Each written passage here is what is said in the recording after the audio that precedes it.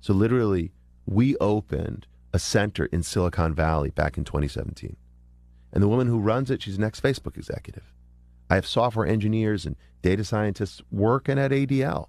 We're monitoring all this stuff. And we're working with all the platforms, by the way Google and YouTube and Meta and Twitter and Reddit and Steam and Amazon, all these companies. From like Apple to Zoom, we work with all of them, okay? That's relevant because we've been working with Twitter now for real, since it was founded. We worked with the old regime, working with the new regime.